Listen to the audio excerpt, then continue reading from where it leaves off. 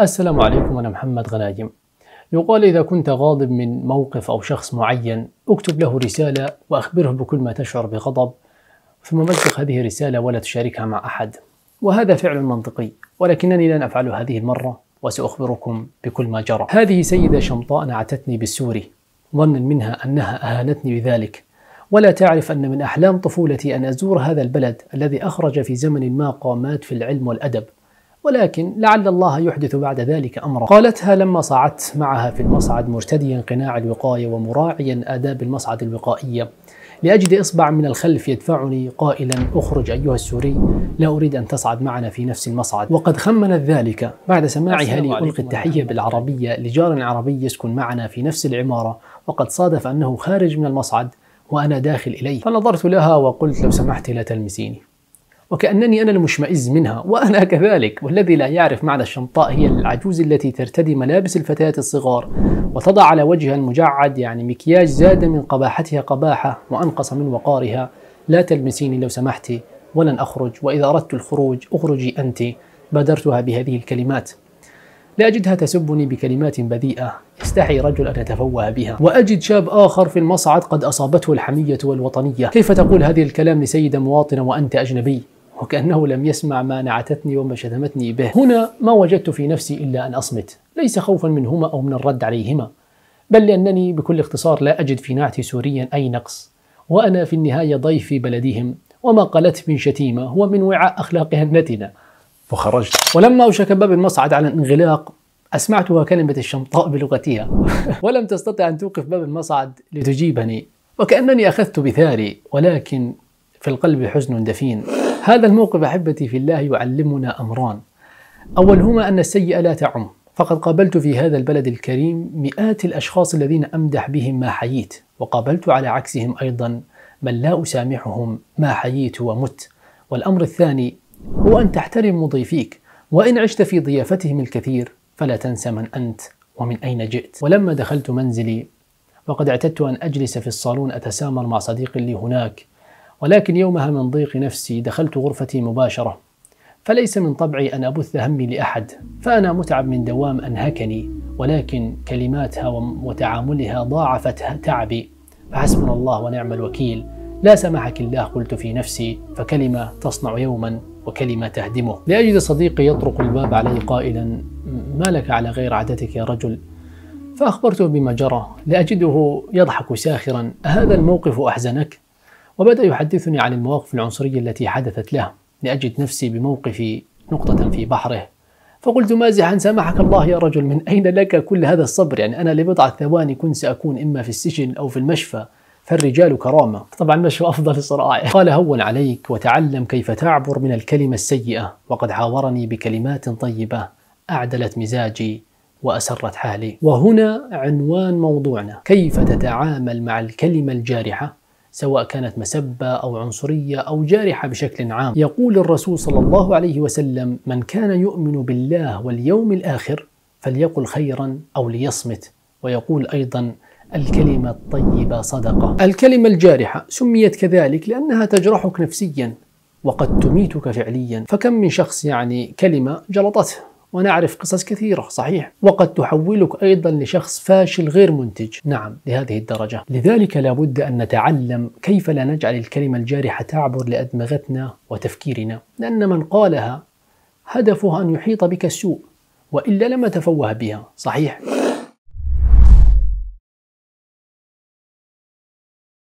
أول أمر يجب أن تفعله عند تلقي كلمة جارحة هو ألا تأخذ الأمر على محمل شخصي.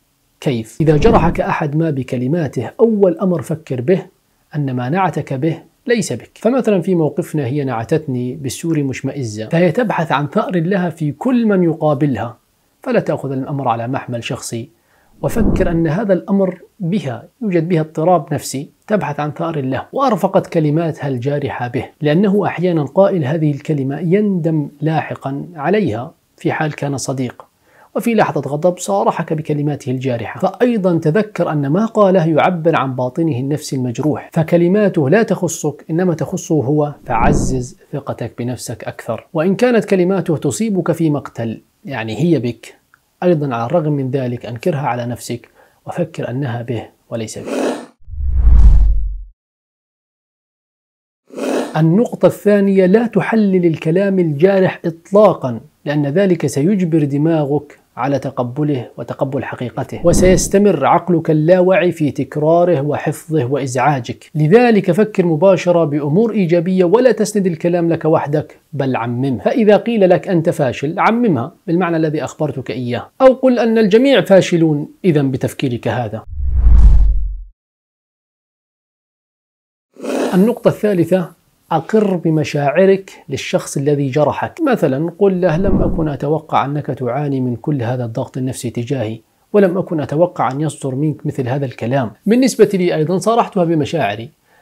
أنك عجوز شمطاء هل نادم على هذه الكلمة؟ نعم لأن النساء في عمرها بحالتها المتبرجة تبحث عن كل ما يلفت النظر لها ولا تجد. فمن المؤكد أن كلماتي جرحتها.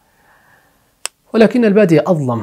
القاعدة واضحة. احترم تحترم. ما قال لك ادفعي لي بإصبعك للخارج. أن تكون نموذج أفضل مني في هذا التعامل وصارحها بمشاعرك بطريقة أكثر أدبا. تمام؟ فأن تقول لها مثلا لم أكن أتوقع أنك تكرهي الناس لهذه الدرجة وليس كل الناس سواسية.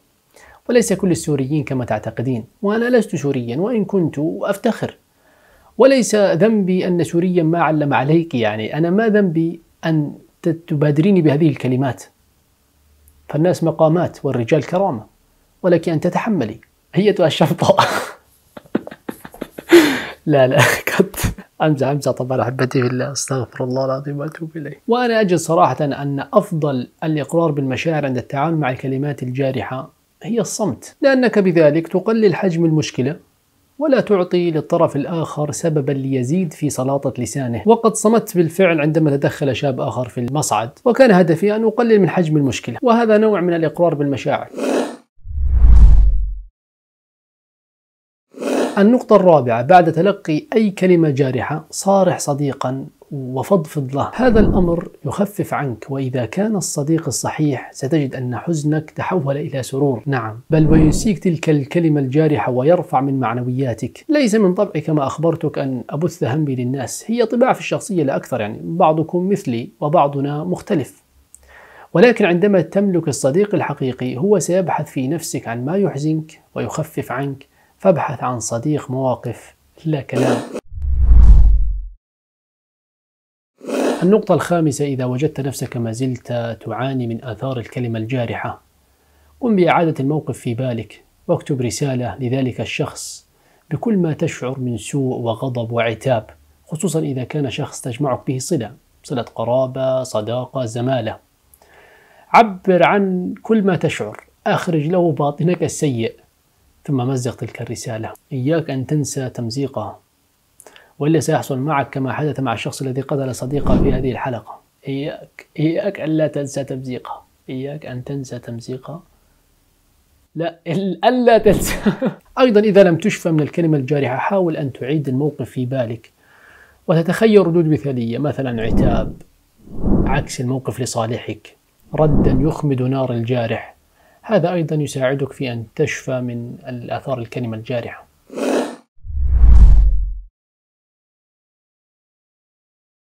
النقطة السادسة إذا كنت تمتلك قوة في البدن استعملها لأنها أحيانا تصحح مسار. لا طبعا أمزح أحبتي في الله. أمزح. طبعا نحن لا نحض على العنف طبعا. اللسان أقوى من اليد في التعبير هذا أمر مفروغ منه. لذلك الناس تغبط من ملك قوة اللسان فهو يأخذ حقه بأقل جهد وبأقوى حجة. صحيح. هذه النقطة ملخصها أن تظهر قوة الجسد دون استخدامها. هذا يقلل من سلاطة لسان الجارح. أخبرني في التعليقات كيف ذلك؟ أريد أن أرى هل فهمت هذه النقطة بالشكل الصحيح أم لا. في النهاية تأكد يا صديقي أن تعاملك مع الكلمة الجارحة مهم جدا في حياتك ومهم جدا في نجاحك بها. كم من شخص يشار له بالبنان هذه الأيام عندما سئل عن ماضيه أخبرنا مواقف محبطة حصلت معه. بفضلها وصل إلى ما وصل إليه من نجاح. فالكلمة الجارحة أحيانا تكون تحدي وحافز للطرف الآخر ولولاها لما وصل الطرف الآخر إلى ما وصل إليه من نجاح. وأعرف قصص كثيرة في هذه النقطة ولكن ليس كل الناس تمتلك روح التحدي أو قوية كفاية لتحول الكلمة الناجحة إلى تحدي وحافز ونتيجة ناجحة. صحيح. لذلك إذا لم تستطع أن تجعل الكلمة الجارحة تحدي لك تعلم على الأقل كيف تعبر منها دون أن تؤثر على حياتك من خلال النقاط التي أخبرتك إياها. أما أنت أيها الجارح فنحن لا نلومك. لأننا في وقت ما كنا وسنكون مثلك. فهذه الحياة وهذه فطرة الإنسان الخطأ. فالرسول صلى الله عليه وسلم يقول كل ابن آدم خطاء وخير الخطائين التوابون. فنحن نخطئ ونتوب. لذلك نحن بشر. ولكن تأكد أن بعض الكلمات قد تكون سببا في دخولك للنار. الرسول صلى الله عليه وسلم يقول وهل يكب الناس على وجوههم في النار إلا حصائد ألسنتهم؟ في النهاية شاركني برأيك في مكان التعليقات حول قصص لمواقف جارحة حدثت معك وتفتخر بطريقة تعاملك بها. حتى نتعلم منك نحن أيضا. ودمتم في أمان الله.